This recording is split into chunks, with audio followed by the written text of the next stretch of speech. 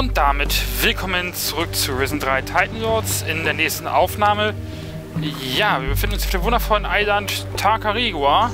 Und jetzt einfach mal mit unserem Homie Bones hier an Land. Schauen uns hier mal um. Endlich schickt jemand nach mir. Ich dachte schon, man hat mich vergessen. Du scheinst selten Besuch zu kriegen. Gold richtig, Junge. Zivilisten triffst du hier kaum noch. Dafür umso mehr Soldaten. Und die machen nur Ärger. Dieses Pack von der Inquisition besetzt einfach meinen Leuchtturm. Da hatten sogar die Piraten mehr Ehre im Leib. Ich bin auf der Suche nach einer Piratenbraut namens Patty. Patty. Patty? Moment, du meinst doch nicht etwa Stahlbarts Tochter? Genau von der rede ich. Du kennst sie also? Die ist vor einiger Zeit hier gewesen. Aber lange geblieben ist sie nicht. Soweit ich weiß, ist sie zusammen mit einer Horde Piraten nach Kila gesegelt. Ich hoffe, das wird dir bei deiner Suche weiterhelfen. Was kannst du mir über Takarigua erzählen? Als Gouverneur Di Fuego noch das Sagen über Puerto Sacarico hatte, da blühte der Handel. Das Einzige, was einem jetzt noch blüht, sind im Stechschritt marschierende Idioten der Inquisition.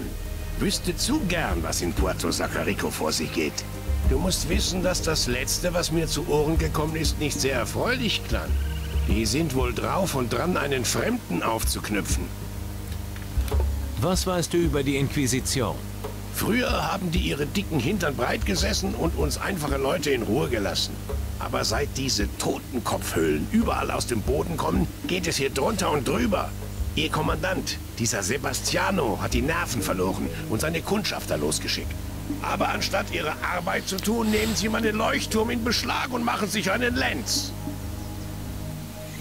Hm, das klingt ja nicht so gut. Wo genau liegt dieses Puerto Sacarico? Nordwestlich von hier. Doch Vorsicht ist geboten. Überall auf Tacarigua lauern Gefahren. Okay, und wie komme ich am schnellsten nach Puerto Sacarico? Im Landesinneren, nicht weit von hier, kampiert im Norden seit kurzem ein Soldat namens Vasco. Sein Lager liegt auf dem direkten Weg nach Puerto Sacarico. Gut, das werde ich schon finden. Danke. Sei aber vorsichtig. Der Dschungel ist gefährlich. Wir können auf uns aufpassen. Ein Fremder, den die Inquisition aufknöpfen will? Naja, viel weiß ich nicht über ihn. Soll wohl mit den Magiern im Bunde stehen. Und das sehen die Soldaten gar nicht gern. Wenn du seinen Hintern retten willst, solltest du dich beeilen. Oha, ja. Ich sehe mich für dich mal in Puerto Sacarico um. Das ist nett von dir, Junge. Weißt du, hier draußen erfährt man eh zu wenig. Schon mal an eine Brieftaubenzucht gedacht? Brieftauben? Vergiss es. Ja. Waren auf Tacarigua früher nicht auch mal Piraten? Sind alle weg oder tot. Ihr Nest im Osten wurde komplett zerstört. Da kommt niemand mehr hin. Das Land wird jetzt von den Schatten kontrolliert. Hm. Was dein Soldatenproblem angeht. Irgendeine Idee, wie ich sie von deinem Leuchtturm vertreiben kann? Hm. Lass mich mal überlegen. Tenner lässt sich sicher durch ein paar Schläge beeindrucken. Aber Holtby, tja, du müsstest schon was gegen ihn in der Hand haben. Sprich einfach mit ihm. Vielleicht ergibt sich da ja was. Das machen wir doch. Ich kümmere mich darum. Großartig. Sollen sie doch Tag ein, Tag aus auf Patrouille gehen. Ich bin einfach zu alt dafür und will meine Ruhe. Was springt für mich dabei heraus, wenn ich dir helfe? Die Hosen eines alten Mannes willst du wohl nicht haben, was? Sieh mich an, ich trage nichts bei mir. Nicht mal eine Buddel haben die beiden mir gelassen.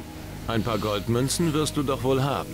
Gut, wenn du mir hilfst, gebe ich dir so viel ich entbehren kann. Außerdem kann ich dir ein paar Buddeln Rum verkaufen, wenn ich meinen Leuchtturm zurück habe. Ah, okay. Scheint ein bisschen so zu sein, als wären die Dinge auf Takarigua ein bisschen, ja, außer Kontrolle geraten, könnte man sagen.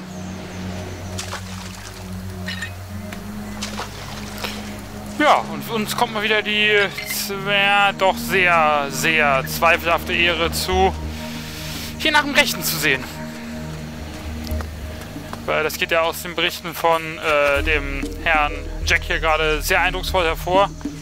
Nämlich, dass diese Totenkopfhöhle, die wir auf der Insel vorhin gesichtet haben, also in der letzten Aufnahme, ist das scheinbar kein Einzelfall war. würde sagen, Bones. Bones, Hilfe.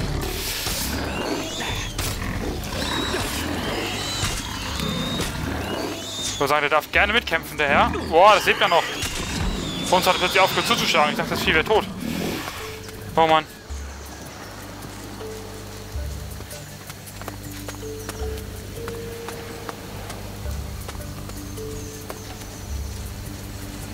Hey du, angetreten. Aber ein bisschen flott. Bist du denn? wohl, du könntest dich hier so durchmogeln, was? Geht's auch freundlich, ja? Du, werd bloß nicht frech, Freundchen. Sonst blüht dir das gleiche wie Jack, dem Leuchtturmwärter. Ich glaube, das ist der, den wir auf die Fresse hauen sollen. Also gut. Was willst du von mir? Schon besser. Schnapp dir einen Besen. Ich will, dass du diesen Saustall von Turm auf Hochglanz bringst. Kehr deinen Mist alleine. Du weißt wohl nicht, wen du vor dir hast. Nein. Jetzt mach dich gefälligst an die Arbeit. Ich glaube, dein Vater hat dich nicht genug verhauen. Kann das sein? Pass auf deine Zunge auf. Sonst setzt es was. Hast du schon mal richtig was aufs Maul bekommen?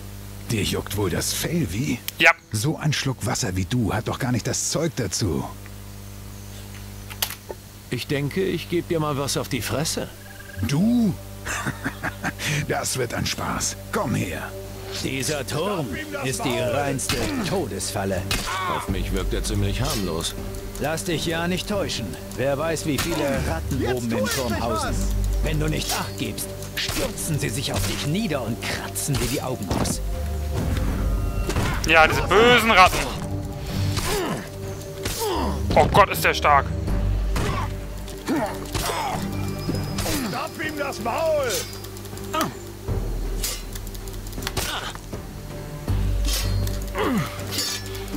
Okay, da müssen wir ein bisschen Technik vorgehen gegen den Guten.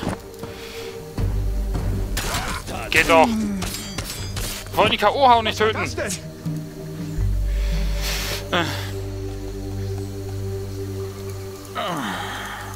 Was ist passiert? Na los, komm hoch. Mann, mir brummt der Schädel. Hau bloß ab. Die eigene Medizin ist meistens die bitterste. Spar dir deine schlauen Sprüche. Ab jetzt tust du, was ich sage, sonst... Ist ja schon gut. Spiel dich nicht so auf. Ja, ähm... Genau, Jacks Ablösung. Du bist Jacks Ablösung. Ab an den Strand mit dir. Und wenn ich nicht will? Ich hab dich nicht nach deiner Meinung gefragt. Zum Strand, aber im Laufschritt. Ja, ja. Dann muss ich deine Fresse wenigstens nicht mehr ertragen. Geht doch.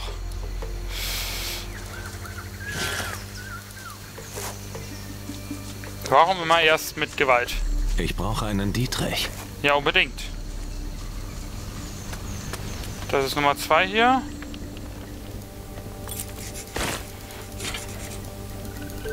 Okay. Besen, können wir auch mitnehmen? Okay, machen wir. Moment, Teleportstein. Meinst nehmen du, wir ich mit. sehe dich nicht? Doch, aber es ist mir egal. Genau, dann aktivieren wir mal gleich erstmal den Teleporter hier. Geht doch.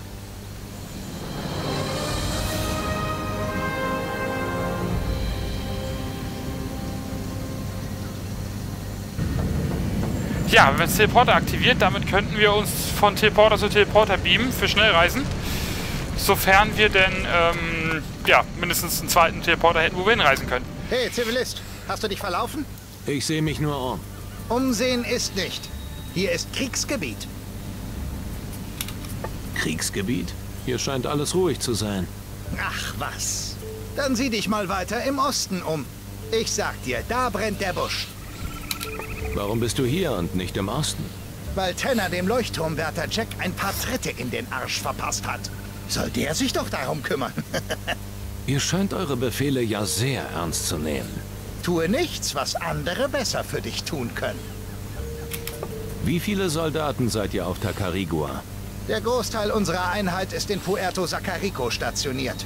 Und von dem Frischfleisch, das mit Kommandant Sebastiano und uns ankam, ist nicht mehr viel übrig. Aber um die ist es nicht schade. Neulinge haben es einfach nicht drauf. Was ist das denn für ein Idiot? Was machst du hier oben außer Wache schieben? für meinen Ruhestand sorgen. Bitte was? Da fängst an zu grübeln, was? Denk mal drüber nach. Ich werde dir schon auf die Schliche kommen. Ah, viel Spaß dabei. Aber nur damit du es weißt, unterhalb des Leuchtturms hast du dich nicht herumzutreiben. Das wäre schon mal ein guter Hinweis. Dass wir sein Tagebuch haben, verraten wir ihm mal besser nicht. Ich glaube, der könnte dann vielleicht etwas gereizt reagieren, der gute Mann. Unterm Leuchtturm sollen wir uns nicht rumtreiben. Okay, das heißt, es muss irgendwo eine Höhle sein. Das ist schon mal ein guter Hinweis.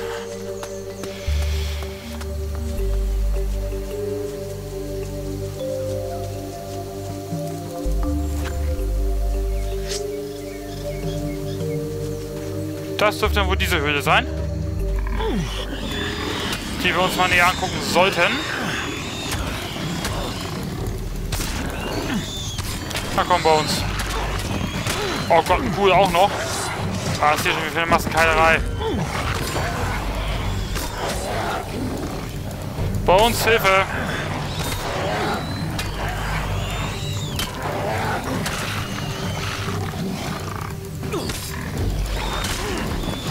Oh Mann!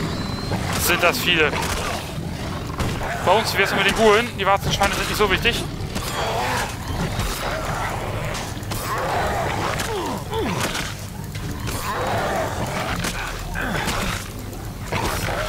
Oh, diese zehn Gule. Mensch.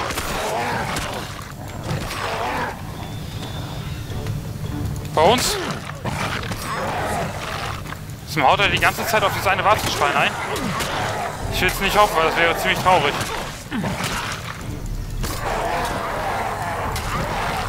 Meine Güte, wie können zwei Gule so lange aufhalten? Äh. Meine Güte. Zähe Mistviecher.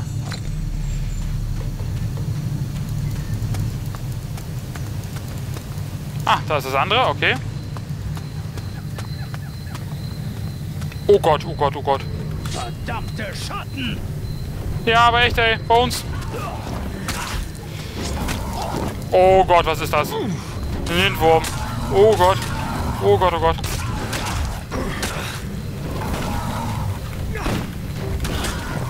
Oh Gott. Oh Gott. Ich weiß mir gerade nicht anders zu helfen, als ihn einfach klein zu schießen.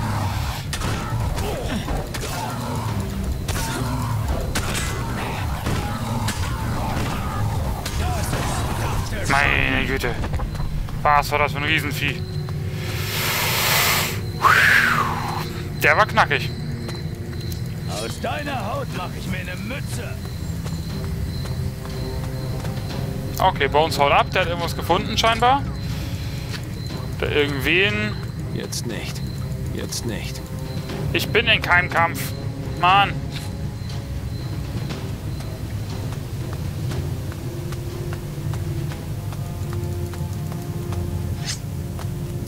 Okay, jetzt ist auf, auf jeden Fall kein Kampf mehr.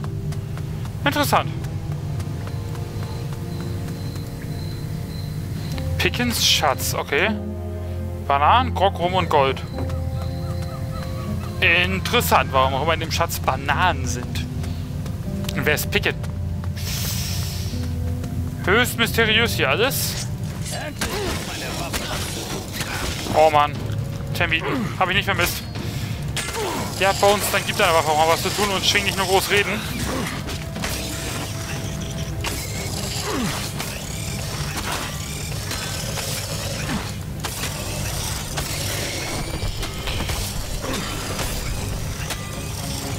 So, und die Termite noch klein gekloppt.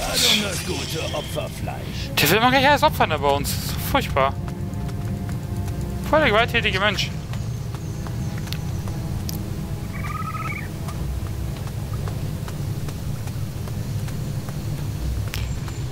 So, was haben wir hier? Oh Gott, noch eine Termite. Mann. Geht einfach in Ruhe, ihr Mistviecher. Bei uns wärst du so freundlich, irgendwie mal auch was zu machen? Ich meine, meine Gute ist dafür da, um uns um für uns zu kämpfen und nicht. Oh, hier ist ein Sprengfall. Einmal hüpf.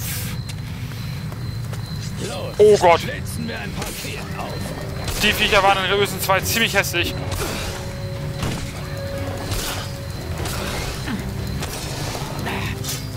Es sind voll die starken Gegner unterwegs schon.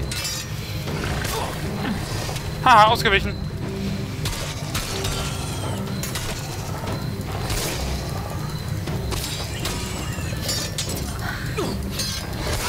Na komm. Na, komm. Stirb du mit Vieh. Oh Gott, ist die zäh gewesen. Holtbistruhe, das ist doch schon eher interessant. Diebesgut. Jacks Wertsachen. Scheinbar hat der Gute hier Jack ausgeräubert. Warten wir kurz darauf, dass Bones wieder aufholt. Der sollte hier eigentlich gleich mal hier seinen Weg zu uns finden. Hoffe ich zumindest.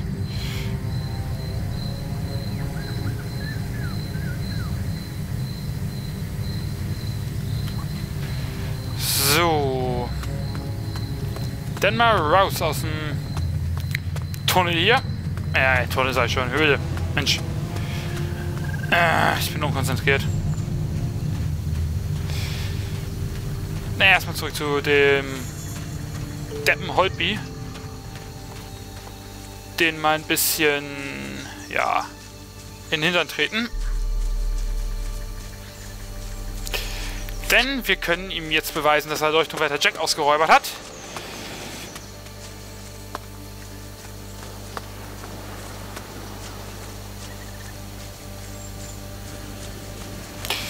Und vielleicht ist er denn ja etwas kooperativer, wenn wir ihn erpressen können. So. Ich habe dein Tagebuch und die Beute.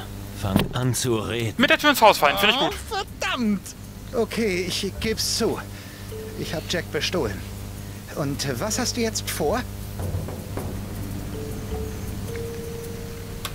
Taschenkontrolle. Her mit deinem Gold. Finde ich gut. Was soll ich denn ohne mein Gold machen? Anfangen zu sparen. Das ist alles Gold, was ich habe. Damit sind wir quitt. Abgemacht? Die Entscheidung Cool. überlässt du mir. Geld. Neuer Befehl, Mangroven bewachen. Aber du hast doch... Dir soeben einen Befehl erteilt. Abmarsch. Finde ich gut. So. Jetzt haben wir erstmal wieder ein bisschen Proviant. Das war auch mal längst nötig. 41 statt, was hatten wir eben noch? 3? 4? Weiß ich nicht mehr.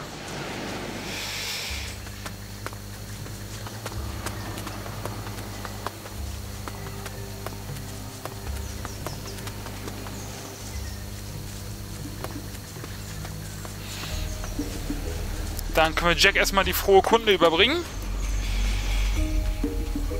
Muschel, können wir auch mitnehmen?